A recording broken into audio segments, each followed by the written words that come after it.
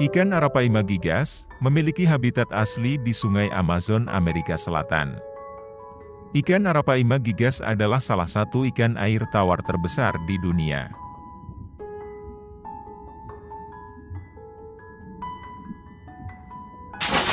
Biasanya ukuran Arapaima gigas adalah sekitar 2 meter, namun di habitat aslinya ukuran Arapaima bisa mencapai 4,5 meter, dengan berat hingga 200 kg. Meski memiliki ukuran besar, dan merupakan hewan karnivora, belum ada laporan yang menjelaskan bahwa ikan monster ini pernah menyerang manusia.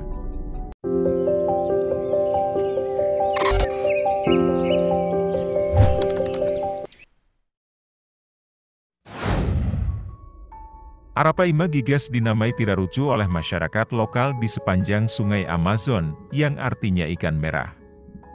Penamaan ini berdasarkan pancaran kemerahan dari sisik ikan ini, dan juga warna kemerahan oranye dari filet dagingnya.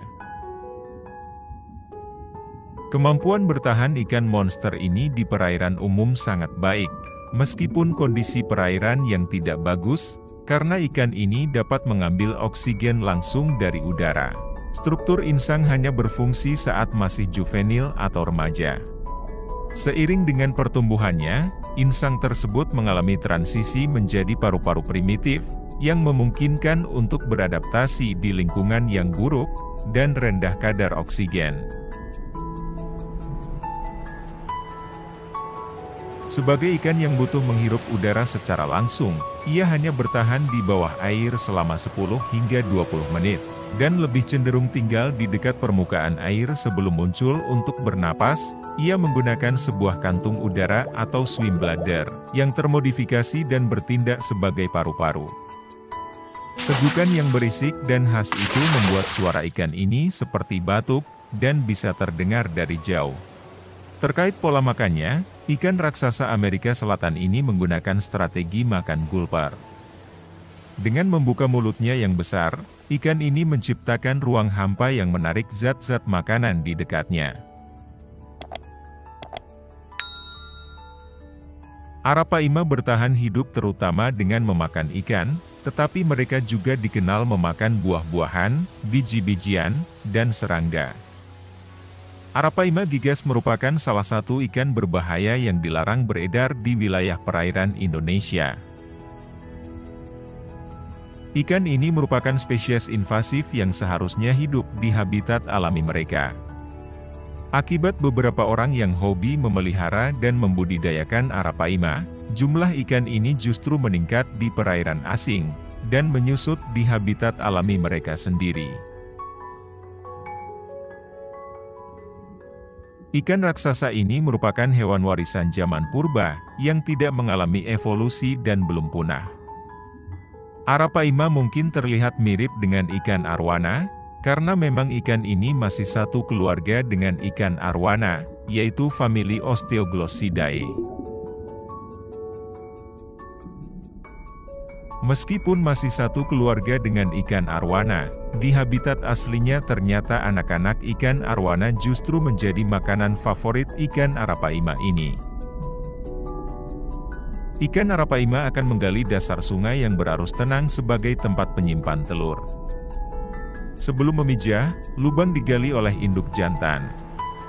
Kemudian, setelah memijah kedua induk bergantian menjaga telur-telur mereka hingga menetas. Telur arapaima akan menetas sekitar tiga bulan. Setelah menetas, tugas menjaga anak hanya dilakukan oleh induk jantan, agar larva yang baru menetas tidak tersesat dan dimangsa ikan lainnya. Ikan muda biasanya akan berkerumun di sekitar kepala induk jantan. Hal ini terjadi karena ada sejenis cairan substansi yang keluar dari kelenjar di bagian kepala induk jantan, dan membuat ikan-ikan muda mendekat. Arapaima adalah predator yang berada di puncak rantai makanan di habitatnya. Ikan ini memakan ikan-ikan kecil, krustasea, seperti udang, kepiting dan lobster, serta hewan-hewan darat di sekitar sungai yang bisa diburu, seperti katak, tikus dan burung. Arapaima memiliki kepala runcing, hijau tembaga, mulut terbalik, tubuh bersisik, dan ramping. Ikan ini berwarna hitam dengan beberapa bagian berwarna putih. Sirip punggung Arapaima membentang di sepanjang punggung sampai ke ekor. Ikan ini bahkan disebut-sebut sebagai ikan dinosaurus, karena Arapaima termasuk dalam ikan purba yang sudah hidup jutaan tahun yang lalu. Oleh karena itu, tentu ikan ini memiliki tampang dan bentuk tubuh yang sangat purba. Demikian beberapa hal tentang ikan Arapaima. Ikan ini merupakan ikan predator yang sangat berbahaya bagi ikan lain. Maka dari itu, apabila ikan ini tersesat keluar dari habitat aslinya maka akan membahayakan ekosistem ikan lain yang hidup di sungai.